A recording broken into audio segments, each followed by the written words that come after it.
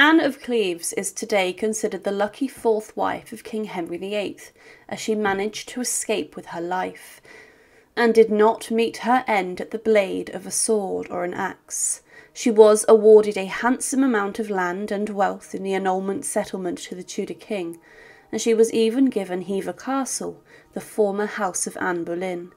She was relatively comfortable following the death of Henry VIII, and she was the longest living wife of him. She even lived longer than his heir, Edward VI, and would have a close relationship with Mary I, or Bloody Mary, when she came onto the throne. But when she died in 1557, she was given a large funeral, and she was entombed inside of a tomb which today has been described as somewhat hard to find, and today it can be easily missed. What is the story of this? On the 16th of July 1557, Anne of Cleves died from what is mostly believed to have been cancer. She was ill for a number of months, and she had shortly before dictated her will. She made sure that the members of her household, whom she was very fond of, were looked after, and were given payment after her death. Anne also bequeathed some jewels to Mary I and to Princess Elizabeth, the future Elizabeth I, her two stepdaughters.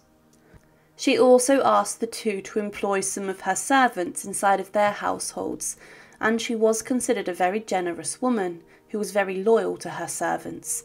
She was a queen who never had the chance to show her good qualities and her kind side and nature, but this was noted even whilst Henry VIII was married to her. The king may not have valued her looks, but he did enjoy her gentle and calm side. As mentioned, she was handsomely rewarded with a large amount of residences, and she would die inside of one of these homes, Chelsea Manor. She died a year before the death of Mary I and the accession of Queen Elizabeth I, but Anne was to be buried at Westminster Abbey, at the heart of English religion, and also near to where the heart and founders of the Tudor dynasty were interred in a vault. She had a large funeral, and she was a queen and a European princess.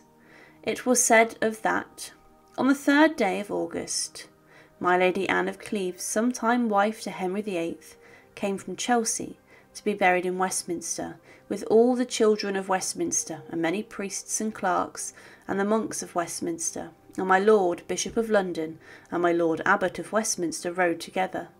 Many of the prominent politicians of the time attended, and there were one hundred torches burning that were carried by her servants, the funeral procession was large and massive, and she was then taken into Westminster Abbey, where her tomb had been prepared, and her coffin was then placed into this. Her body was also interred with a cloth of gold laid over her, and following this, the officers of her household broke their staves of office, symbolizing their duty was over and done with, and they then threw these into the tomb. Her funeral had been conducted according to the Catholic rites that she wanted, and her tomb lies on the south side of the high altar. The monument is a low stone structure of three sections, and it shows beautiful carvings displaying the initials AC with a crown, lion's head, and skulls and crossbones on it. It's believed that the tomb was made by Theodore Haves of Cleves, but that it was never finished. Today, as mentioned, the tomb is very easy to miss, and it is actually quite difficult to spot inside of Westminster Abbey we would expect that the tomb of a Tudor queen would be large and garish with a huge monument on. This is what is shown on Elizabeth I's tomb or on Mary Queen of Scots, with a huge effigy of them placed above where their bodies are laid to rest. Her tomb is actually located within the area of sanctuary, a very quiet and religious part of the abbey, and it's here where the coronation service takes place when new monarchs are appointed. Part of her tomb can be seen from the back, and the inscription Anne of Cleves, Queen of England, born 1515, died 1557, can be seen and read from the transept. But as the coronation takes place in sanctuary, this is off limits to the public, and today is not accessible, meaning half of her tomb has been lost. Also, what doesn't help is that many other memorials obscure Anne of Cleves' tomb, as it is opposite Edward the Confessor's tomb, it is also rather overshadowed. She is buried, though, within the same walls and confines as her father and mother in law, whom she never met. but also the two stepdaughters she had, Mary and Elizabeth. But what is interesting is that during the coronation of Queen Elizabeth II, Anne of Cleves' tomb was actually built over temporarily to make sure that the Queen Mother could view the coronation of her daughter, Queen Elizabeth II, on a stand during the huge ceremony.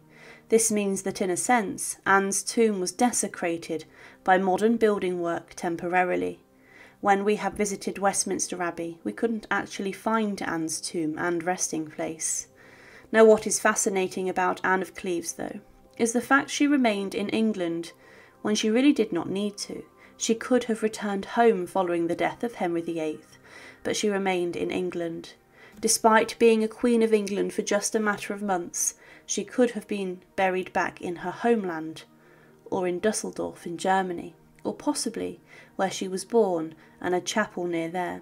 However, today in Westminster Abbey, her tomb is forgotten and is easy to miss, but she was buried at the heart of English religion and the most elaborate and ornate abbey and church across the land, showing how important she actually was.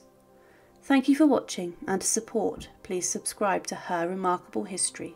Thank you.